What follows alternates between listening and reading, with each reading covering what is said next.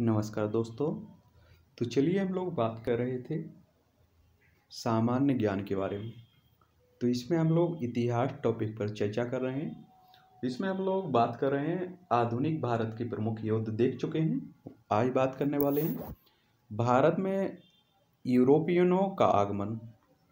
तो सबसे पहले बात करते हैं पुर्तगालों के बारे में। पुर्तगाली, पुर्तगाल कब आए? बार्थोलोम्यू डियाज चौदह सौ सतासी ईस्वी में आशा अंतरीप पहुँचा। तथा उस जगह को तूफानी अंतरिम नाम दिया। सत्रह मई चौदह सौ अंठानवे को पुर्तगाली यात्री वास्को डिगामा समुद्री मार्ग से कैप ऑफ़ गुड होप के रास्ते भारत में कालीकट बंदरगाह पर पहुँचा।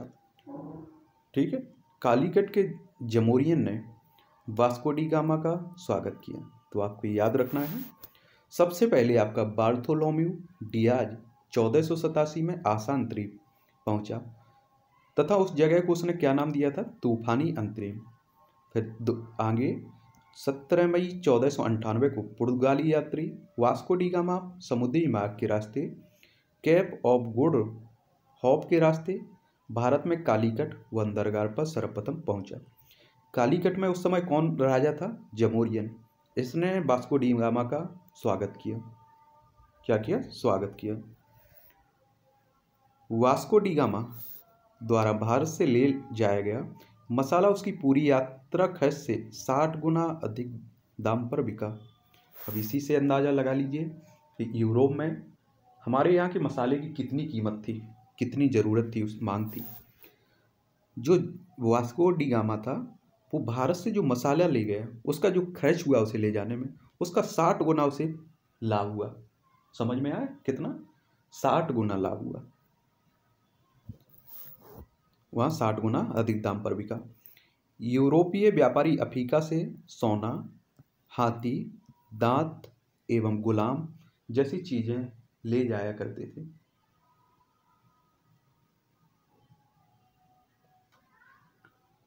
1503 में 1503 में पुर्तगालियों ने अपना पहला दुर्ग कोचीन में स्थापित किया। पूछा जा सकता है, सब, सर्वप्रथम पुर्तगालियों ने अपना पहला दुर्ग कहाँ बनाया था? कोचीन में। कहाँ? कोचीन में, ठीक है। पुर्तगालियों ने अपना दूसरा दुर्ग 1505 ईस्वी में कन्नूर में बनाया था। कहाँ बनाया कन्नूर में बनाया था, ठीक है। आगे बात करते हैं हम लोग। पंद्रह सौ नौ। पंद्रह सौ नौ में गुजरात तथा मिस्र के संयुक्त बेड़े को फ्रांसिस्को डी अल्मेडा ने पराजित किया था। फ्रांसीसी डी अल्मेडा प्रथम पुर्तगाली वायसराय था। फ्रांसिस्को डी अल्मेडा प्रथम पुर्तगाली वायसराय था, याद रखिए। अल्फांसो डी अल्बुकर्क 1503 में स्क्वेडे, स्क्वेडेन कमांडर के रूप में आया था। 1509 में इसे भारत का वायसराय नियुक्त किया गया था। इसे ही पुर्तगीज शक्ति का वास्तविक संस्थापक माना जाता है, किसे? अल्फांसो डी अल्बुकर्क को। अल्बुकर्क 1503 में ईस्वी में भारत आया। अल्बुकर्क पंद्रह सौ नौ ईस्वी में पुर्तगाली गवर्नर नियुक्त किया गया, अल्बुकर्क, ठीक है? अल्फांसो डी अल्बुकर्क पंद्रह सौ नौ से पंद्रह सौ पंद्रह ईस्वी तक भारत में पुर्तगा, पुर्तगीज शक्ति का वास्तविक संस्थापक माना जाता है। अल्बुकर्क ने गोवा अधिकरण, अधिग्रहण में तिमैया नामक हिंदू से सहायता ली थी। 1510 ईस्वी में अल्बुकर्क ने गोवा को बीजापुर की सुल, के सुल्तान यूसुफ आदिल शाह से जीता। गोवा भारत में पुर्तगाली राज्य की राजधानी 1530 ईस्वी में बना। पुर्तगालियों ने दीव एवं दमन पर क्रमशः 1535 ईस्वी और पंद्रह ईस्वी में अधिकार किया था। पुर्तगालियों ने दीव एवं दमन पर क्रमशः 1535 ईस्वी और पंद्रह ईस्वी में अधिकार किया था। बात करते हैं यूरोपियन आगे। यूरोपीय कंपनियों का भारत आगमन इस प्रकार है। पुर्तगाली कब आए? पंद्रह, चौदह सौ अंठानवे ईस्वी में। आपको ये डेट है, याद रखना है, क्योंकि इनसे कई बार क्वेश्चंस डायरेक्ट पूछ लेते हैं।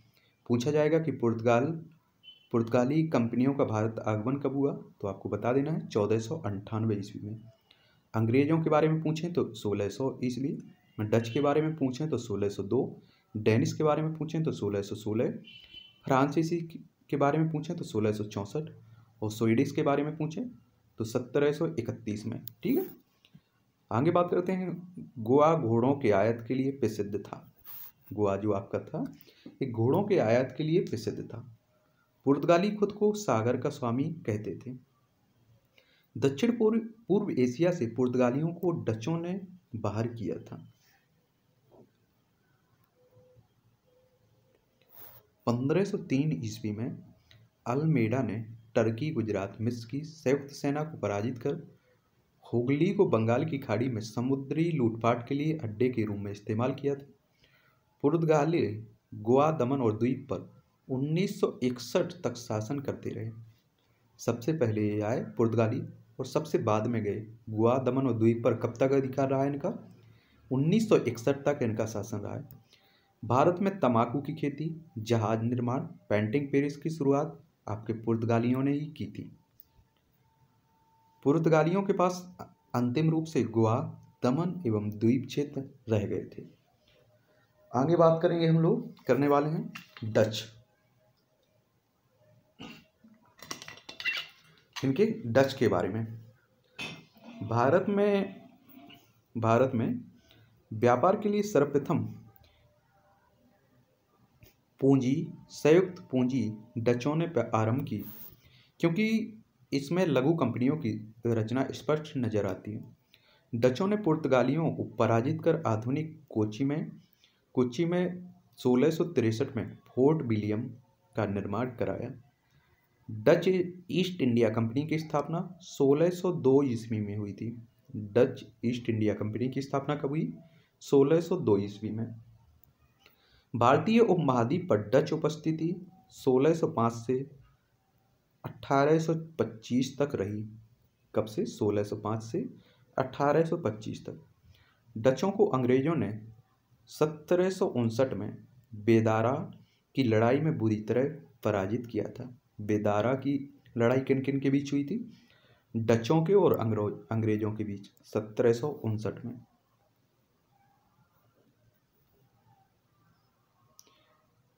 अब बात करें यूरोपियों की प्रथम फैक्ट्रियों की बात करें तो पुर्तगालियों की 1502 में कोचीन केरल में स्थापित हुई थी।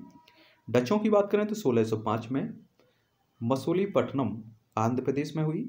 अंग्रेज़ों की 1611 में मसूलीपट्टनम आंध्र प्रदेश में डेनिस की 1620 में, ट्रावनकोर, तंजौर में, और फ्रांसीसी ये सोलह में, सूरत में, करीकाल 1645 चिनसूरा ए सोलह में, ठीक है, कब? सोलह में।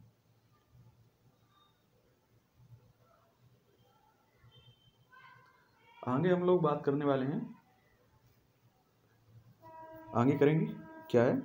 1690 में 1690 ईस्वी तक डचों की मुख्य व्यापारिक कोठी पुलिकट में थी। सोलह सौ नब्बे ईस्वी के बाद डचों ने नागापट्टनम में मुख्यालय बनाया था। उनके बाद, डचों के बाद आते हैं आपके अंग्रेज़ हैं। अंग्रेज़ों के बारे में बात करें तो भारत आने वाला पहला अंग्रेज़ जहाज़ रेड डैगन था। ईस्ट इंडिया कंपनी की स्थापना 1600 ईस्वी में हुई।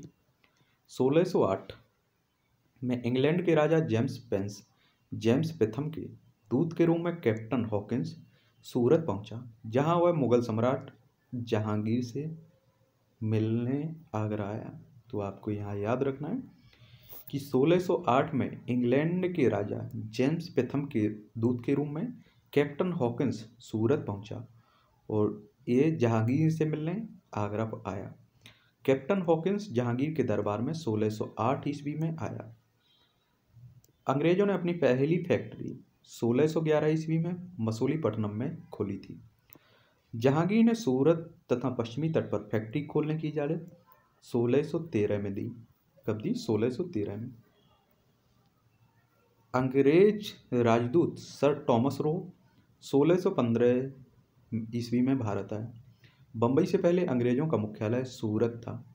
मसूलीपट्टनम गोलकुंडा राज्य का प्रमुख बंदरगाह था। बंदरा, मद्रास में अंग्रेज़ों द्वारा स्थापित किले का नाम फोर्ट सेंट जॉर्ज था। आगे बात करते हैं। अंग्रेज़ों ने बंगाल में अपनी पहली कोठी सोलह में हुगली में स्थापित की थी। अंग्रेज़ों को सर्वोत्तम सोरा और अफीम बिहार से प्राप्त होता था। अंग्रेज़ों ने बंगाल से कच्चा रेशम, सूती कपड़ा, सोरा तथा चीनी का व्यापार करते थे। क्या करते थे? चीनी का व्यापार करते थे। सोलह सौ इक्यावन, सोलह सौ इक्यावन ईस्वी में सुल्तान सूजा ने तीन हज़ार रुपये वार्षिक शुल्क के बदले अंग्रेज़ी कंपनी को बंगाल में व्यापार का विशेष अधिकार दिया। अंग्रेज़ों ने हुगली को सोलह सौ छियासी ईस्वी में लूटा। अंग्रेज़ों ने हुगली को कब लूटा? सोलह सौ छियासी ईस्वी में। अंग्रेज़ों ने अपना मुख्यालय सोलह सौ छियासी ईस्वी में बम्बई में बनाया। सोलह सौ इकसठ में ईस्वी में इंग्लैंड के राजा चार्ल्स द्वितीय का विवाह पुर्तगाली राजकुमारी कैथरीन के साथ हुआ। सोलह सौ इकसठ ईस्वी के ईस्वी में इंग्लैंड के राजा चार्ल्स द्वितीय का विवाह पुर्तगाली राजकुमारी कैथरीन के साथ हुआ। इस अवसर पर पुर्तगालियों ने चार्ल्स द्वितीय को दहेज के रूप में बम्बई द्वीप प्रदान किया। अंग्रेज़ों द्वारा कलकत्ता में निर्मित दुर्ग का नाम फोर्ट विलियम रख था। इंग्लैंड के सम्राट के सम्मान में उक्त किलाबंद व्यवसायिक प्रतिष्ठान का नाम फोर्ट विलियम रखा गया। सर चार्ल्स आर्चर इसका पहला प्रेसिडेंट बना था। कलकत्ता की स्थापना 1690 ईस्वी में जॉब चारनॉक ने की थी। सोलह में अजी मुस्सान ने अंग्रेज़ों को बारह सौ रुपये में सुत्तानाती काल, कलिकत्ता एवं गोविंदपुरी की जमींदारी दी थी। अंग्रेज़ों के बाद फिर बात करते हैं हम लोग फ्रांसीसियों के बारे में। फ्रांसीसी। फ्रांसीसी ने अपनी पहली कोठी सोलह ईस्वी में सूरत में स्थापित की। लुई चौदहवीं के मंत्री कॉलबर्ट द्वारा सोलह सौ ईस्वी में फ्रेंच ईस्ट इंडिया कंपनी की स्थापना हुई। फ्रांसीसियों ने पांडुचेरी की नींव सोलह सौ तिहत्तर ईस्वी में फ्रैंक मार्टिन द्वारा रखी गई। फ्रांसीसियों ने बंगाल में चंदनगर की प्रसिद्ध कोठी सोलह सौ नब्बे से सोलह सौ बानवे में बनाई थी।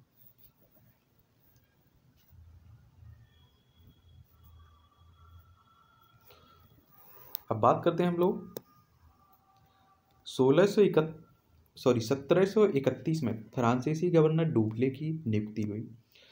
अब देखते हैं यूरोपियों की, भारत में प्रमुख बस्तियों के बारे में, बस्तियाँ। पुर्तगालों की बात, पुर्तगाली की बात करें तो गोवा दुई, दमन बसईबोल आदि पश्चिमी तटों पर तथा पूर्वी तटों पर बम्बई सैंथोम, मद्रास के निकट, हुगली, बंगाल में डचों की बात करें तो मसूलीपट्टनम 1605 पुलिकट 1610 सूरत 1616 कासिम बाज़ार बड़ा नगर पटना, बालासोर नागपट्टनम सोलह सौ अंठावन में और कोचीन सोलह सौ तिरसठ में। अंग्रेज़ों की बात करें तो सूरत, आगरा, अहमदाबाद, भड़ोच बम्बई मद्रास, हरिहरपुर, बालासोर, हुगली, पटना कासिम बाज़ार आदि। फ्रेंच की बात करें तो सूरत सोलह में, मसूलीपट्टनम सोलह और पांडिचेरी चंदनगर। अब बात करते हैं आगे बंगाल में कंपनी शासन की स्थापना। बंगाल में कंपनी शासन की स्थापना। अंग्रेज़ों ने सोलह में बंगाल के हुगली में अपनी कोठी साय सुजा की अनुमति से बनाई। मुर्शीद कुली खां बंगाल का दीवान सत्रह सौ ईस्वी में बना। 1727 में मुर्शीद कुली खां के निधन के बाद सुजाउद्दीन ने शासन किया। किसने? सुजाउद्दीन ने। अली वर्दी खां सोल, सत्रह सौ चालीस में। सत्रह सौ सत्ताईस में आपका मुर्शीद कुली खां के निधन के बाद सुजाउद्दीन ने शासन किया। ठीक है? इसके बाद आपका अली वर्दी खां सत्रह सौ चालीस ईस्वी में बंगाल का नवाब बना। बंगाल, बिहार, उड़ीसा को मिलाकर बंगाल प्रांत की स्थापना सत्रह सौ तैंतीस ईस्वी में की गई। अली वर्दी खान ने अंग्रेज़ों तथा एवं फ्रांसीसियों को कलकत्ता एवं चंदनगर में किलेबंदी की इजाज़त नहीं दी थी। ठीक है? मराठों के आक्रमण के कारण उड़ीसा का एक बड़ा हिस्सा अंग्रेज़ों को देना पड़ा। भारत में अंग्रेज़ों का सबसे ज़्यादा विरोध मराठों द्वारा किया गया था। भारत में अंग्रेज़ों का सबसे ज़्यादा विरोध किसके द्वारा किया गया था? मराठों द्वारा। आगे बात करते हैं। सिराजुद्दौला को सिराजुद्दौला सत्रह सौ छप्पन में बंगाल का नवाब बना। किलेबंदी नहीं हटाने के कारण सिराजुद्दौला ने 15 जून सत्रह सौ छप्पन को फोर्ट विलियम पर कब्जा कर लिया। अंग्रेज़ों ने सिराजुद्दौला से हारने के बाद फुल्टा द्वीप पर शरण ली। ये कई बार पूछ लेता है कि अंग्रेज़ों ने सिराजुद्दौला से हारने के बाद कहाँ शरण ली थी? फुल्टा द्वीप पर। यह है आपका सबसे महत्वपूर्ण युद्ध, प्लासी का युद्ध। प्लासी का युद्ध की डेट आपको कब याद रखना है? कब हुआ? तेईस जून सत्रह सौ संतावन ईस्वी को।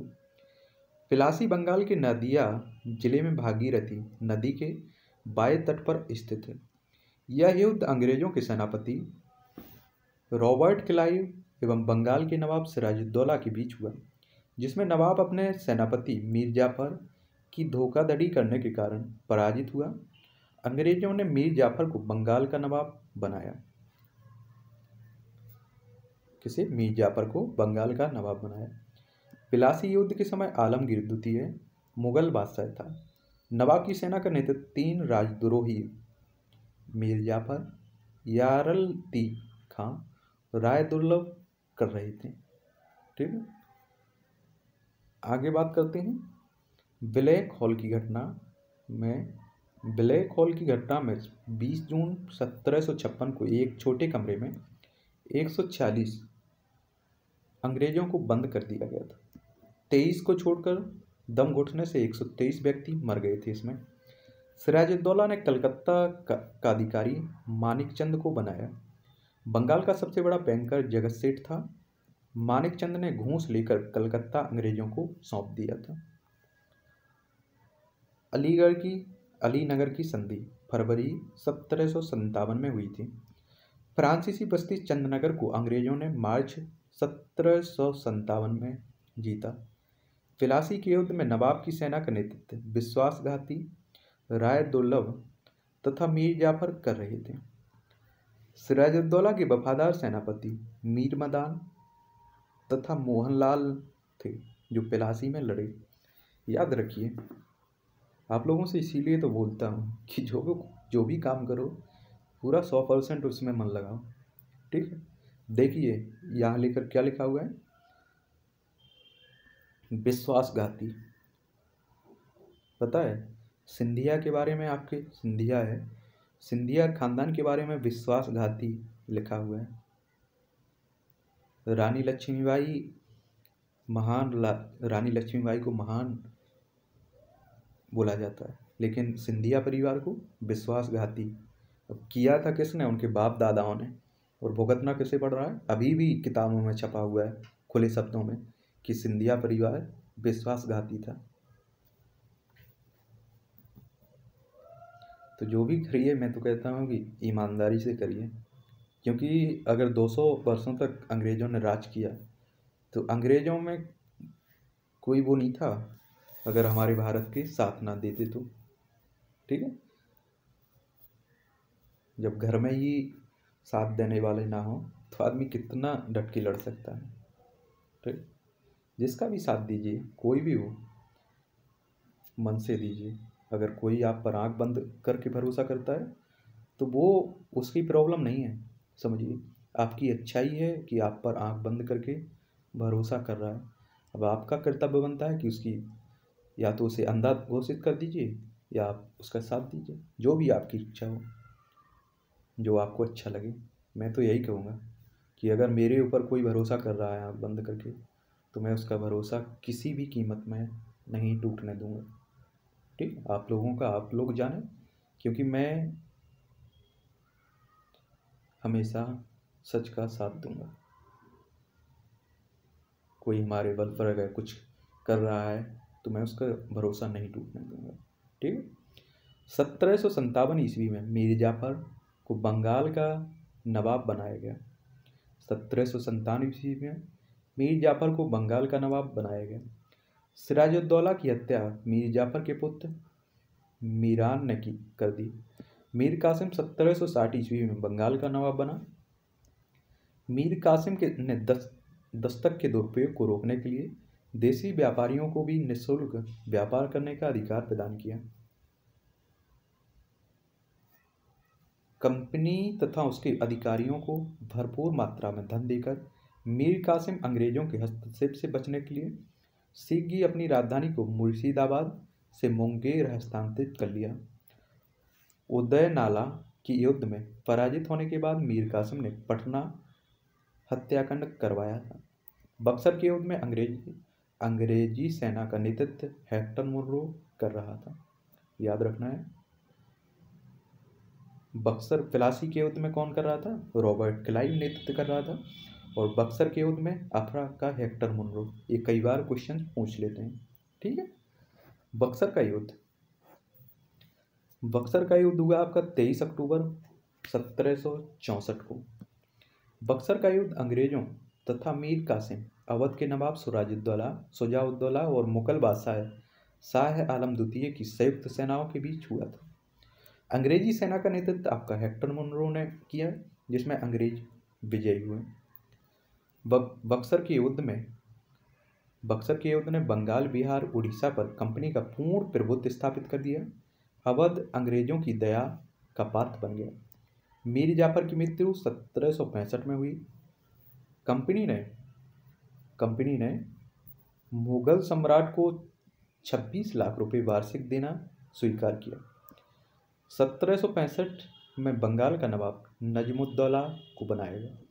लगान वसूलने के लिए कंपनी ने बंगाल के लिए, मोहम्मद रजा खां एवं बिहार के लिए सिताब राय को नियुक्त किया था।